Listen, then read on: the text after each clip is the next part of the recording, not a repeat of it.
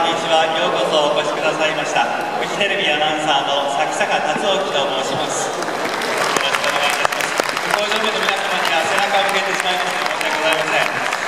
あのお足元がね悪い中本当にたくさんお集まりいただきましてありがとうございました。今年大相撲トーナメントは38回を数えるんですが、えー、私の記憶だとおよそ20年ほど前にまだ土曜日日曜日2日間開催だった時代に、えー、土曜日大雪に見舞われたことがございました。まあ、本当に昨日じゃなくてよかったなというのがスタッフ一同の思いでございますけれども、え、お帰りの頃はかなりあの路面が凍結していると思いますので、え、どうぞお気をつけてお帰りいただければと思います。さあ土俵上これからですね大相撲トーナメント毎年恒例になりました相撲普及講座のコーナーを迎えます。え、ここからの時間はご来場の皆様に大相撲の素晴らしさをよりご理解いただきましてそして大相撲の醍醐味を存分にお楽しみいただきます。では早速本日私と共に進行をお手伝いいただきます。特別ゲストお二方に入場していただきます。デーモン閣下そして元大関宮城山双子山親方のお二人です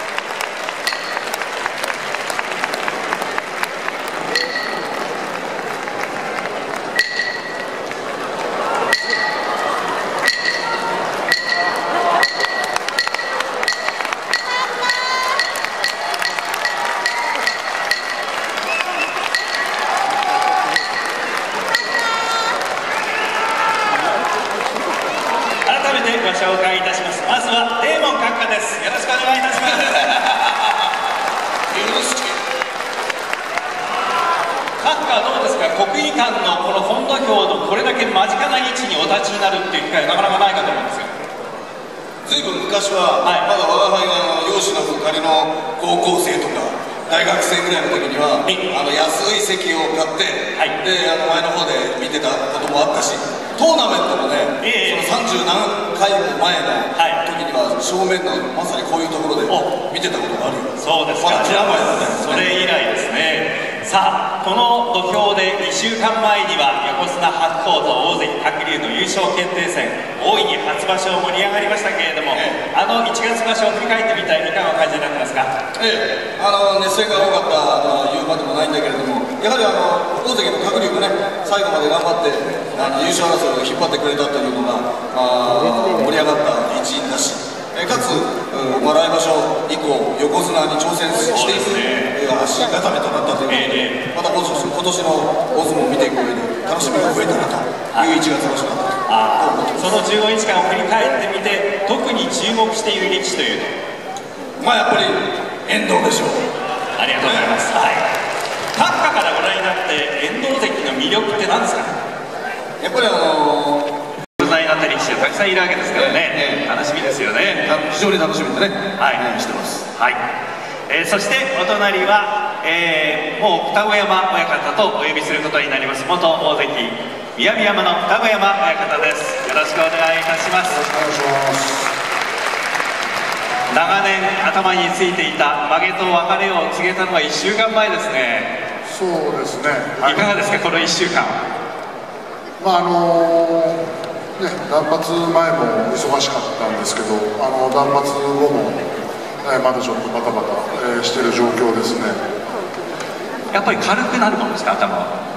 あのよくね断髪された親方は、えー、頭が軽くなったっていう表現するんですが、はい、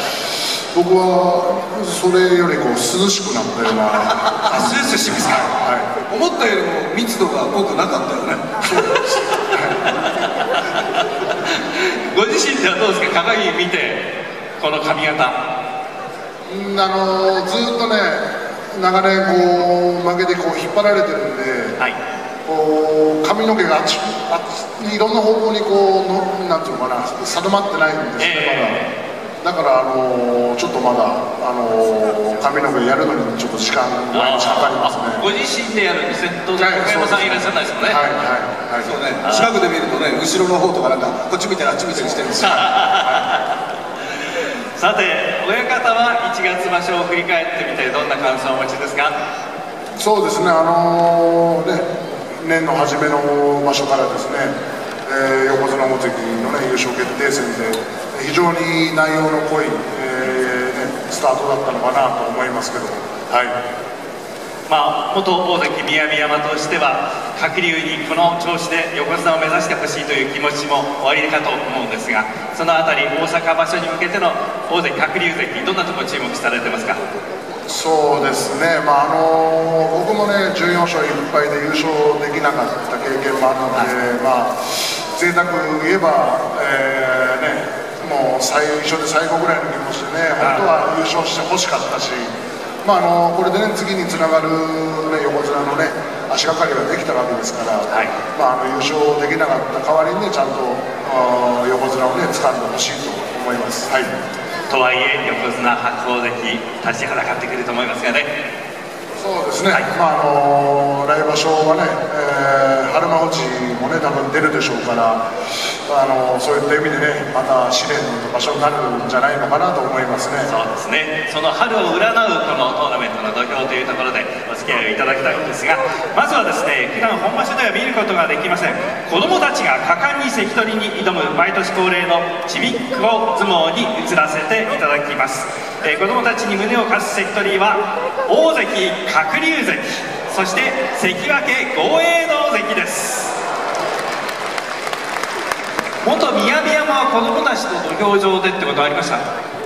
何回かはありますけどあの結構神経使うじゃないですか？うんあのねちょっと軽くこう動かしたつもりでもね飛んじゃって怪我させたら困るからそういうのも気使ってやりましたけど、ね、はい、はい。えー、今回登場の子どもたちはですね東京インターナショナルスクールの年齢は6歳から11歳の子どもたち14名。では関取子どもたちの入場です